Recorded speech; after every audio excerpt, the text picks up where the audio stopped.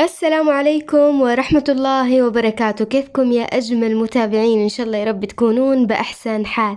يا هلا وغلا فيكم نوريني جميعا وحياكم الله في قصة جديدة من قصصنا. ولكن قبل ما نبدأ بسرد القصة اللي أول مرة يشوفني يا ليت يضغط على زر الاشتراك. وكمان أعطوني لايكات كثير لهذا الفيديو ولمحبين القصص حيلاقونها في قوائم التشغيل في قسم قصص حقيقية استمتعوا بسماعها. ونبدأ بقصة اليوم. ويقول صاحب القصة. يا هلا والله. معاكم أخوكم محمد. القصة اللي بقولها هذه صارت في صيف 1421 كنت راجع من جامعة آه، من جامعة البترول أقضي الإجازة مع أهلي في أبها. وكانت أيامها يعني الأجواء ربيعية ولطيفة وليالي أبها طبعا لا يعلى عليها. فاعتدت أنا واثنين من الزملاء أن نروح المكان يعرفونه أهل أبها اسمه المطل الغربي. وهو يعني عبارة عن مخطط كذا في جبل مرتفع في الجهة الغربية من أبها على طريق السودة. ومن مميزات أنك تقدر تشوف المدينة كاملة كلها بأنوارها تقدر تشوف ليالي الصيف فيها كل شيء. المهم في مرة من المرات أو في أحد الليالي وصلنا المطل في حدود تقريبا الساعة عشرة في المساء. وفي أثناء حنا ما كنا نبحث عن مكان نجلس فيه لفت نظري شاب جالس في سيارة ديتسن غمارة واحدة ومسكر الدرايش ومولع لمبة في السقف إضاءتها كذا خفيفة وماسك جريدة وقاعد يقرأ فيها. طبعا تعدينا واخترنا مكاننا ونزلنا كذا آه، فرشتنا وقهوة وتمر وحلا وكذا وفصفص. المهم استمتعنا مرة بليلتنا هذيك. وكان معانا زميلنا ماجد. ماجد هذه يعني ما تنمل سواليفه ولا دعاباته. حتى إنه كنت أحس إن كل الجلسات اللي حولنا كانوا يعني يحسدوننا عليه من كثر ما هو كان مونسنا في الجلسة هذيك. فانبسطنا الحمد لله لين جات الساعة 12 ونص. سمعنا صوت أغاني أغاني صوت عالي عالي. المهم ركزنا ركزنا كذا اللي هو جاي من الديتسن. وقتها أنا انتبهت قلت يا شباب صدقوني ترى راعي الديتسن هذا وراه سالفة. وطول الوقت هو الحالة شكله غريب والحين يعني بدأ يسمع أغاني وكذا. أنا حاسس إن عنده شيء. المهم تحمست كذا واستشرت الشباب وقررت قلت أنا بروح أشوف السولف معاه كذا وأتناصح معاه عن الأغاني. وأكيد إنه بيوافق يعني إذا دعيته يكمل سهرته معانا. فمشيت لين عند الدتسن وتعمدت إني أجي من قدام عشان ينتبه لي. فاستأذنته يعني إني أكلم ولما قابلته كان كذا مرخي راسه مدنق وصوت الأغاني كذا مرتفع حتى ما يسمع. قربت منه ودقيت الزجاج يعني اللي في السيارة. وكان ردة فعله صراحة كلها ذوق وتدل يعني على أصالة معدنة وإنه رجل طيب. فتح لي الباب ورحب فيني وسهل وحلف إني أركب معاه في السيارة. أول ما ركبت أصلا يعني فتح الدرج كذا وطلع زجاجة عطر يعني وقعد يطيبني وحيا وسهل فيني كأني ضيف عنده في بيته. وحقيقي يعني عجبني أسلوبه وردة فعله. قلت يستاهل إنك تسولف معاه وإنك كذا تتناصح. فبديت عرفته بنفسي. فدخلت في الموضوع ببساطة. قلت والله أنا باختصار يعني صراحة أنا لفت نظري إنه أنت من أول الليل موجود ولما بعدين سمعتك شغلت أغاني كذا في هذا الوقت. قلت أكيد إن الرجال مهموم. وترى تبي شوري يعني والله يا الأغاني إنها ما بتزيدك إلا هم. ما بتسليك ولا بتوخر اللي فيك. قالت تدري إنك أنت جيت على الجرح. والله يا كلامك إنك صح لكن من قوة الهم وضيقة الصدر والطفش اللي أنا فيه ترى هذه حالتي بس. أنا ودي إني أقول لك قصتي. قلت تفضل قول. فبدأ يسولف لي. قال أنا اسمي سلطان وأنا من القويعية. اتوفى أبوي وأنا صغير وعشت مع أمي وكان لنا بيت صغير قريب من أعمامي ولحوش وجميل. أمي ضحت علشاني بعد وفاة أبوي وجلست معاي في هذا البيت واهتمت فيني وربتني وكرست كل حياتها لي. وكانت كل يوم ترقب الأمل كذا وتشوفه يكبر في عيون ضناها كذا. إلين تخرجت أنا من الثانوية وبمعدل حلو بديت أدور لي عن عمل أو دراسة كان همي يعني. ورغبة أمي كمان إني أنا أكون في القويعية نفسها لكن السنة الأولى ما حصلت شيء. والحمد لله يعني أحوالنا طيبة ومعانا ورث زين ما كان يفرق عندي. أهم شيء إني أكون أنا قريب من الوالدة. فاللي صار وأنا أخوك إنه بعد سنة وكم شهر في فصل الشتاء كان في معانا مناسبة عند خوالي. ورحنا وحضرنا هذيك المناسبة. لما انتهت أخذت أمي ورحنا البيت. دخلت الحوش ونزلتها عند الباب هي والخدامة. ورحت أنا أوقف الجيب حق السيارة يعني أوقف في مواقفة وأدخل وأرجع البيت يعني. كانت الساعة وقتها تقريبا واحدة الصباح. وأنا أقترب من الباب يعني خلاص بعد ما وقفت السيارة كذا لو الخدامة تطلع علي وتصيح يا بابا سلطان يا بابا سلطان تعال تعال شيل ماما. أنا انفجعت يعني أمي عمرها في أوائل الأربعين صحتها ممتازة ما تشتكي من شي نزلتها عادي طبيعية ما أدري إيش اللي صار. فركضت كذا دخلت أشوف البيت وصلت وألاقي أمي كذا طايحة مغمى عليها حاولت إني أصحي عبايتها كانت حتى عليها ما مداها حتى تشيل العباية. أخذت أمي ووصلتها للطوارئ واستقبلوها وشالوها على سريرهم وعلى طول أخذوها دخلوها غرفة العناية الحرجة في الطوارئ. طبعا في هذه الغرفة المرضى متقابلين على أسرتهم الطبيب يعني يتابعهم كلهم في نفس اللحظة وكلهم كانوا حالات طارئة وتعبانين جدا.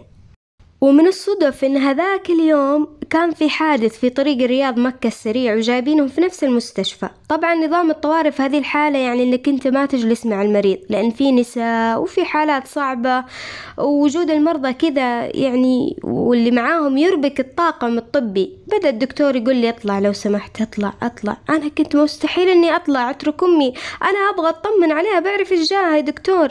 فالدكتور يقول يعني حتى أني أكلمه كذا هو مشغول ما هو فاضي. حاولت إني أطنشهم قد ما أقدر وأجلس مع أمي رغم إنه ممنوع. فما تخيلت إني ممكن إني أتركها يعني بين يدينهم كذا وأروح خلاص أنا قلقانة بشوف إيش في أمي.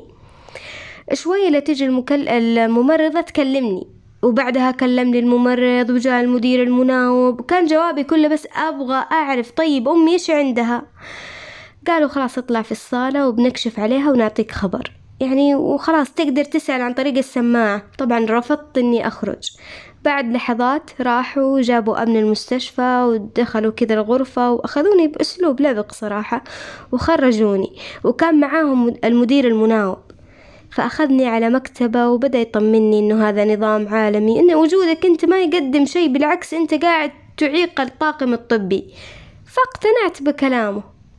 وللأمانة بنفس الوقت كان بالي مشغول مشغول على البيت لأن أنا طلعت مستعجل ما سكرت الأبواب والخدامة خوافة. ولما طلعت كان الوقت متأخر تعرفون يعني ليالي شتاء هادية والناس تنام بدري.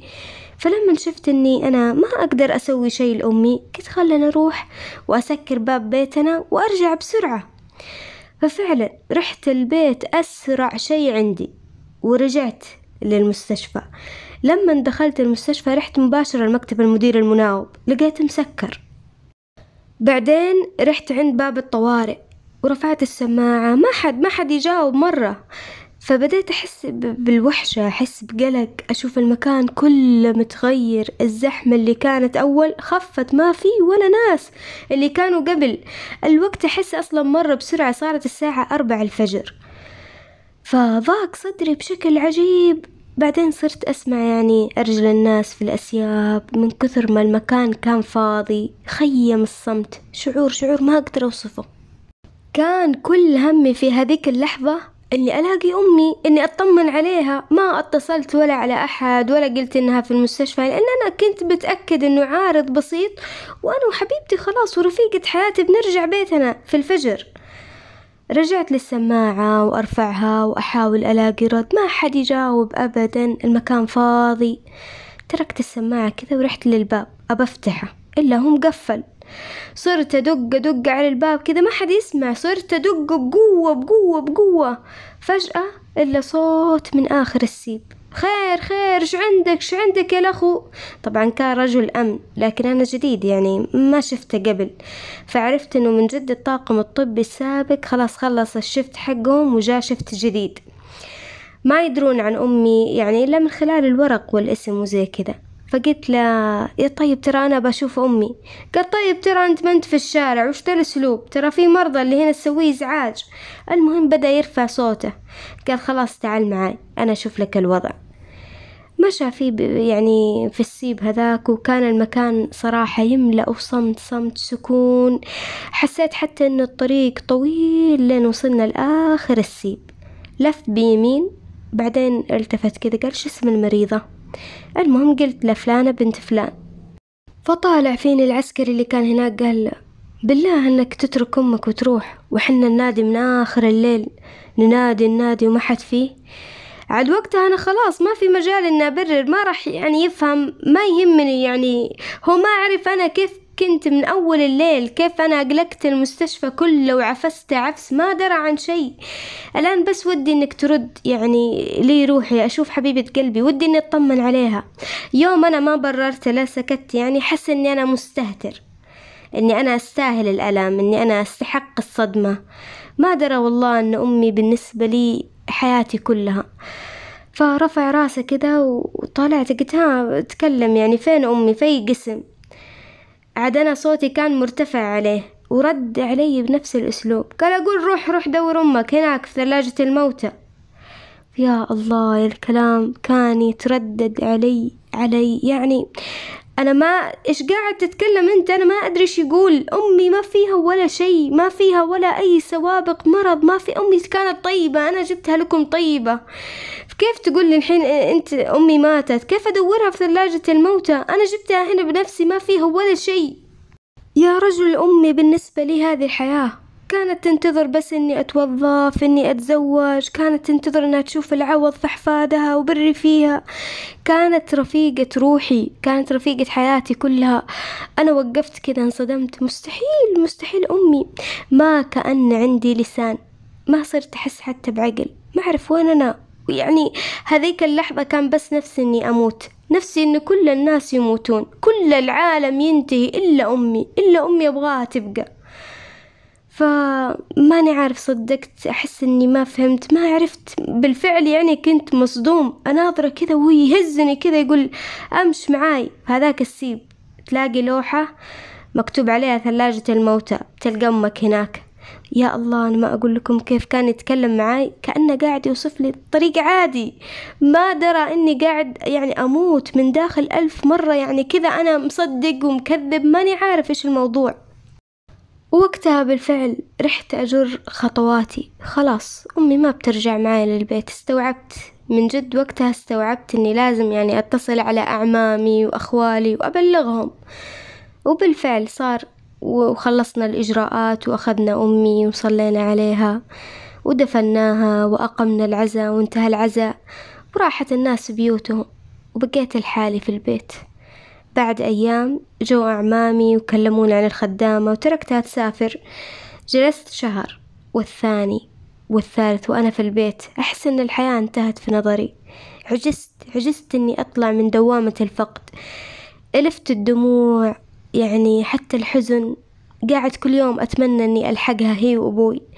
إحساس قاسي لما إنك أنت تحس إنه ما في شي في الدنيا يهمك ولا لك في هذه الدنيا بكبرها أي حاجة. كان الوقت يمشي ببطيء والأيام مملة والبيت كله ذكريات. أمي كذا أتصورها في كل زاوية. عرفت وقتها إن حياتي ما كان فيها شي إلا أمي. أمي هي أبوي هي أمي هي أخوي أختي كل الناس حولي. بالفعل أمي كانت هي هذه حياتي. بعد ثلاث أشهر جوني أعمامي. قالوا توسطنا لك ترى في الأمن وكذا ودورتك حتبدأ بكرة ولازم إنك تروح الرياض. وسافرت ودخلت الدورة وأخذت فيها شهر ونص بعدين أرسلوني لمطار أبها. لي الآن من وصلت لأبها شهر يعني وما وعملي يعني هنا تدريب بس لمدة ستة أشهر. فقال لي سلطان أنا من جيت أبها أنا ما أعرف أحد ولا عمري قابلت أحد إلا العمل. وإذا ما كان عندي دوام جيت هنا جلست في السيارة. فوقتها اكتشفت يعني إنه هذا أول إنسان أستمع له كذا بدهشة وإن هذا الرجل يقول كلام ما قد قاله لأحد. لولا كذا أحس إني أنا تلعثمت. حسيت إني ما أعرف أعلق. حسيت إني ما أقدر أواسيه أو إني أسليه. المهم وقتها قلت طيب اسمع خليني أسجل رقمك وبكرة بسوي عشاك عندي إن شاء الله في البيت وكذا. وبنتواصل وأكيد إنك بتتعرف على أبها وتصير عندك صداقات وكذا. بتغير حالك إن شاء الله. قال لا أنا بسجل رقمك عندي لأن والله ما عندي جوال. وقتها من جد كان قليل اللي عندهم جوالات. فاعتذرني عن العزيمة ووعدني إنه يتصل علي ويزورني. مرت الأيام وانتهى الصيف ورجعت الجامعة وبدأت الدراسة وانشغلت مرة مرة انشغلت. مرت الأيام وجاء شهر رمضان. فكنت أنا طلعت يعني كذا من صلاة التراويح اللي يجيني اتصال. اتصال من تلفون ثابت من أبها. فرديت يعني وسلم وبارك وكذا في رمضان يعني. قال أنا سلطان. قلت إيه سلطان الله يحييك. سولف معاي. كنت عتبان عليه صراحة إنه انقطع ما كلمني. فتعذر لي. قال ترى يعني أنا منتظر بس هذه اللحظة عشان أتصل عليك. أبغى منك طلب. قلت أبشر. والله إنك تبشر. قال تكفى. أنا أبغاك تدعي لأمي في رمضان. والله وقتها أنا كذا خلاص أحس إن نزلت دمعة من عيوني خرجتني العبرة حاولت إني ما أوضح لها يعني وفعلا يعني دعوت لها والله إني خصيتها بالدعاء مع أبوي الله يرحمهم يا رب. مرت الأيام وجاء موسم الحج. واتصل سلطان من جوال. وفرحت قلت يلا بسجل جوالك.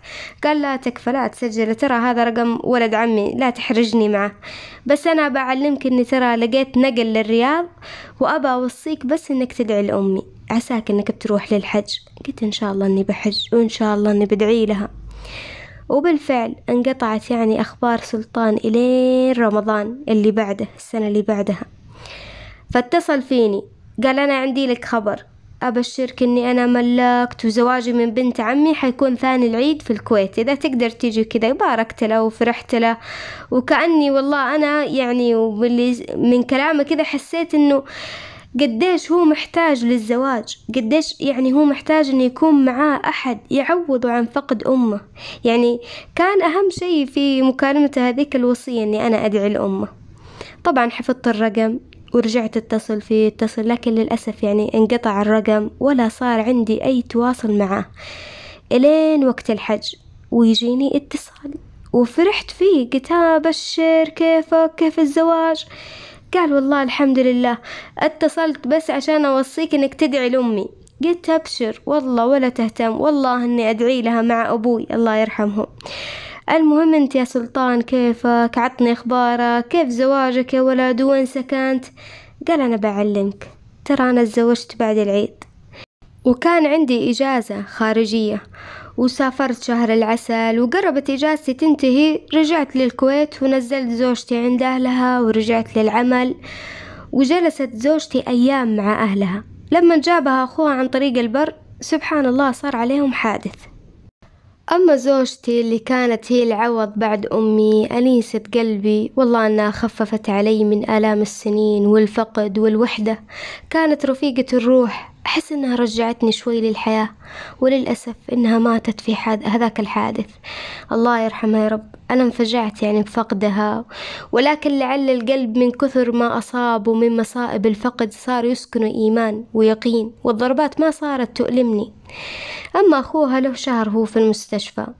سبحان الله يحكي لي نفس مشاعر الألم لما حكى لي قصته. كلامه ما كان يعني يوازيه جبر ولا تعزية. كلام يعني إنسان مسلم موقن. آه، دعيت له يعني بالصبر وأوصيته بالثبات. وأنا أفكر كذا طول الوقت في أجره أجره العظيم يعني على اللي صار له في هذه الحياة. ومن بعد هذيك المكالمة انقطعت أخبار سلطان عني إلين هذا الوقت وأنا ما أعرف وش صار له في حياته. فالعبرة بس من قصة سلطان إن الابتلاء أنواع. البعض يبتلى بالمرض وآخر بالفقر والثالث بالمشاكل والتوترات والسجن وبعضهم بالظلم ولكن يبقى الابتلاء الأكثر وجعا وحرقة هو الابتلاء بفقد الأحبة. سلطان من انولد عاش يتيم. وبعدين فقد أمه وبعدين زوجته فأسأل الله سبحانه وتعالى أن يعوضه ويجبر جبرا يتعجب منه أهل السماء والأرض. ولعلها تصل هذه القصة. فأنا صديق في أبها ولا زلت أذكره ما راح أنساه من دعائي أبدا هو وأمه وزوجته. ولعل الله سبحانه وتعالى يجمعني فيه قريب ونكمل بقية تفاصيل القصة لكم.